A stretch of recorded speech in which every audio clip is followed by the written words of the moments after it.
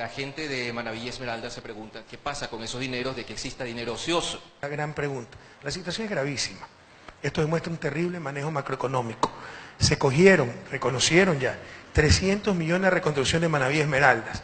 Mejor no hubieran explicado por qué, porque quedaron peor. Supuestamente recursos ociosos. Ocioso el gobierno, pues hay tanto que hacer en Manaví y Esmeraldas. La contradicción es que me falta plata, vamos a ver si debe faltar plata o no, pero están gastando 60 millones de dólares para una consulta mañosa. El precio del arroz está por los suelos, están quebrando al agro, la zona rosera, Daule, gran parte de Guaya, los ríos, Manabí, ¿no? Necesita 25 millones de la Unidad Nacional de Almacenamiento, que ni siquiera es gasto, porque recupera esos 25 millones. Pero comprando 25 millones en arroz, estabiliza el precio del arroz. No tiene, pero sí tienen 60 millones para una consulta mañosa. Eso es lo que indigna a la gente, indigna a los agricultores. Pero no debería haber necesidad de recursos. El petróleo está a 60 dólares casi. Nosotros lo programamos a 41 dólares. Para que vean la situación que tuvimos que enfrentar. A inicios del 2016 yo lo tuve a 17 dólares. 2016. 2017 se lo programó en el presupuesto a 41 dólares. Está cerca de 60 dólares. La economía que pensábamos iba a crecer 1.4.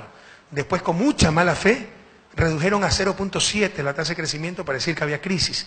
En realidad vamos a crecer más del 2%. Tercer trimestre crecimos 3.8%, de las más altas tasas de América Latina. Chuta, la economía cuántica, ¿cómo funciona? No? Tercer trimestre, julio, agosto, septiembre. Yo dejé el gobierno en mayo, finales de mayo.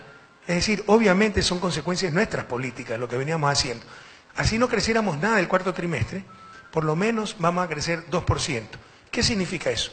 Más recaudación de impuestos, ¿Qué significa eso? Más ingresos petroleros. Debería sobrar la liquidez y le falta liquidez. Es gravísimo. ¿Y saben por qué? Por mala fe y tontos. Si un presidente, por hacerle daño a su obsesión ahora, no destruirme a mí, políticamente, personalmente, etc., se pasa diciendo ocho meses que el país está sobreendeudado, que hay crisis económica y que todo ha sido corrupción, ¿quién rayos le va a prestar ese país? Y eso es lo que ha sucedido. Se le han cerrado fuentes de financiamiento.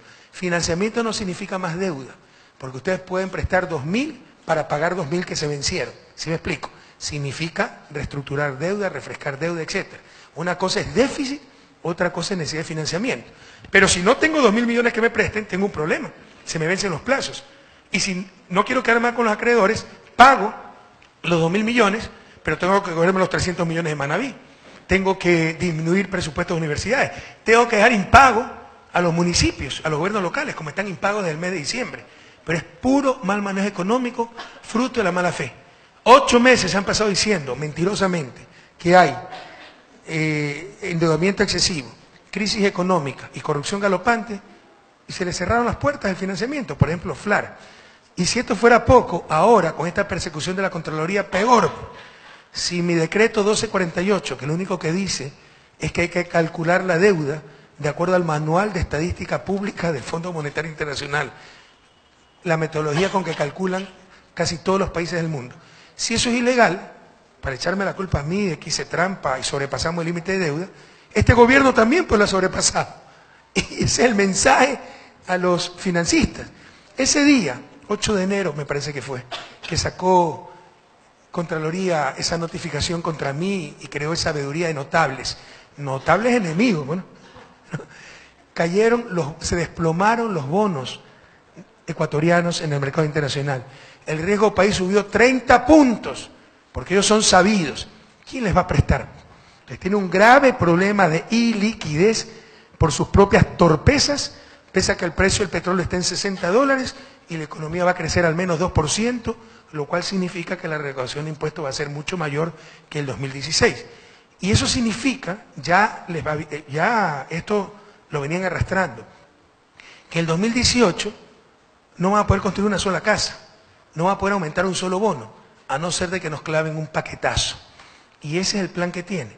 Después de la consulta, si la ganan con amplitud, clavarnos un paquetazo, asesorados por Jaime Durán Barba, el mismo que asesora a Mauricio Macri en Argentina, que después de ganar las elecciones para el Senado, clavó tremendo, allá le llaman tarifazo al pueblo argentino.